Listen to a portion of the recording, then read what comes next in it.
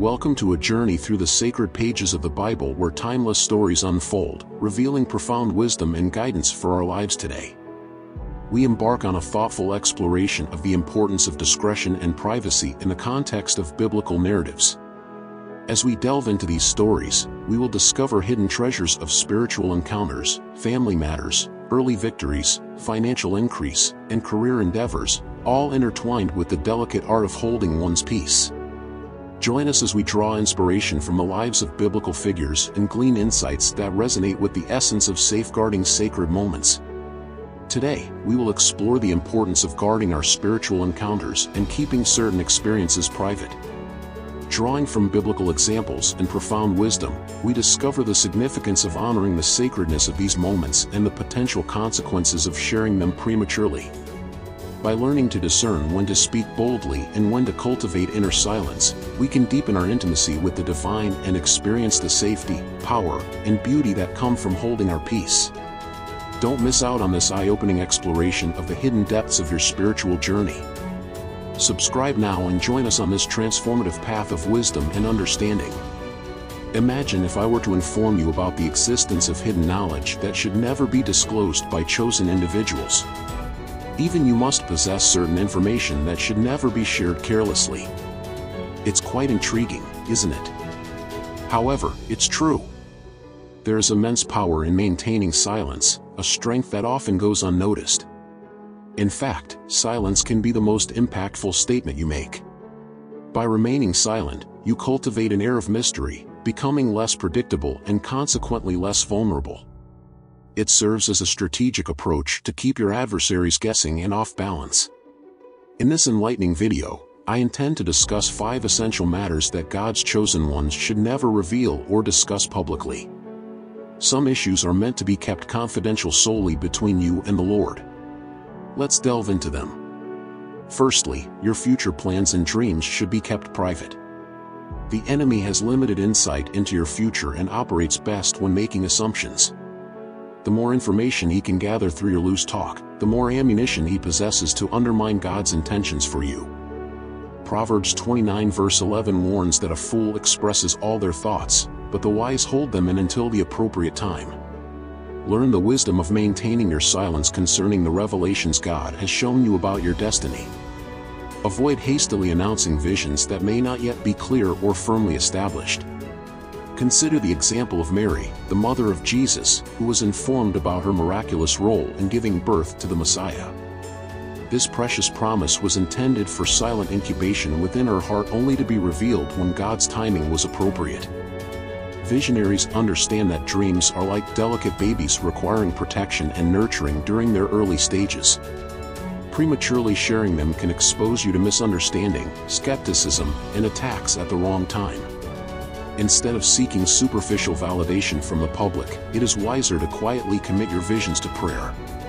God may lead you to share fragments with trusted confidence for agreement, but resist the temptation to excitedly broadcast unfinished dreams that require patient cultivation in the secret place. Wait until God gives the green light.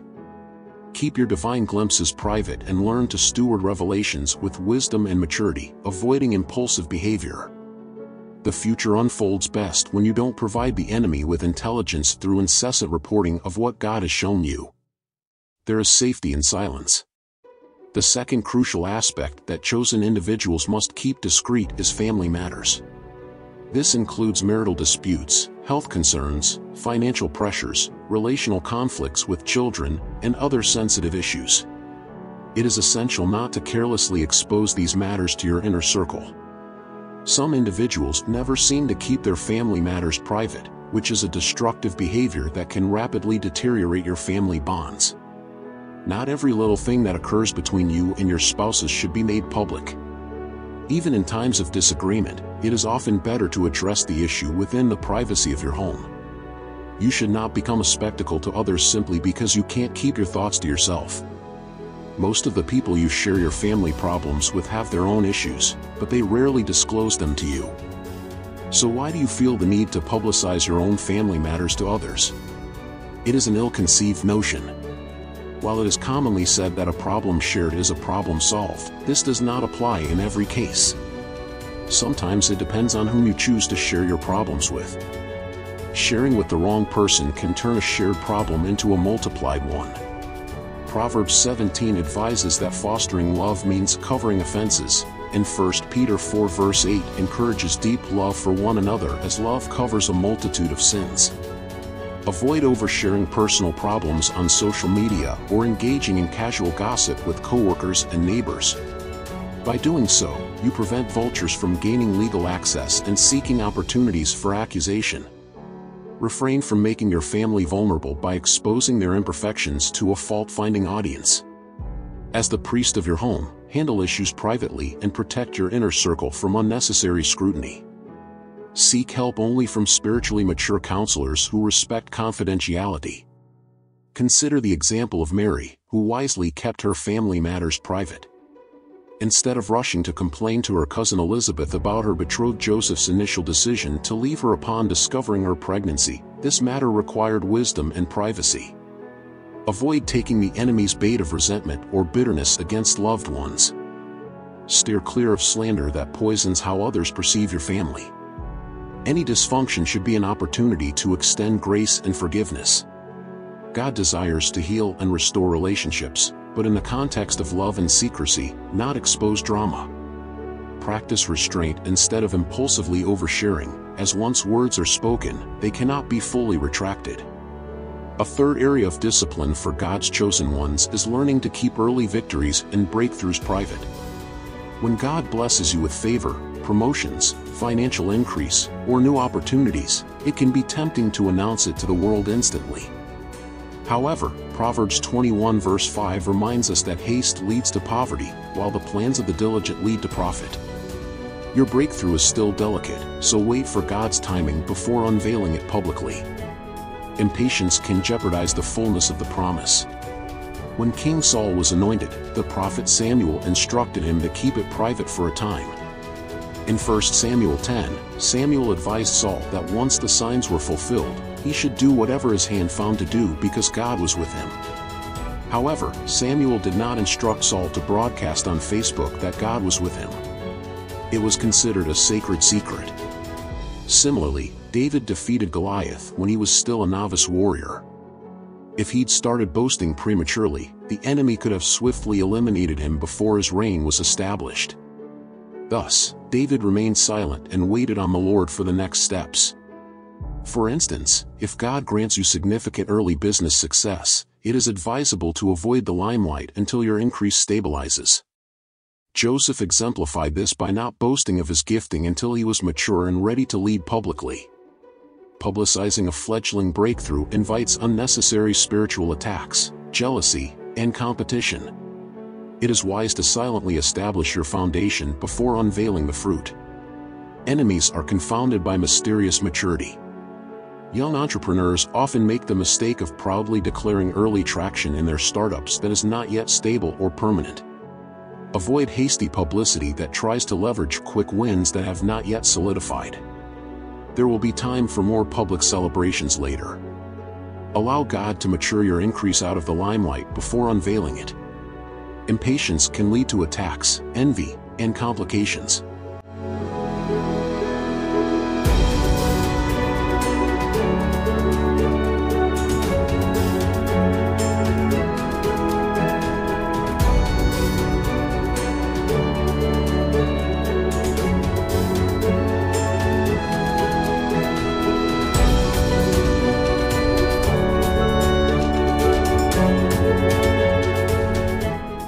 Another unwise action that chosen individuals often engage in is openly boasting about financial increase and possessions.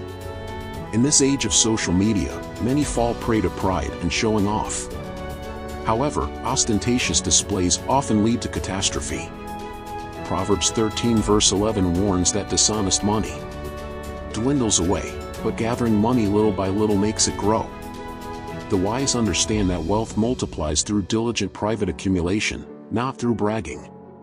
Avoid the trap of seeking validation by flaunting lavish purchases, vacations, homes, and other vain status symbols that shift trust away from God. Do not evaluate your self-worth based on fleeting riches, Instead, focus on spiritual maturity and responsible stewardship, which lead to lasting prosperity. Rather than envying those who flaunt opulence, embrace the hidden dignity of modest living.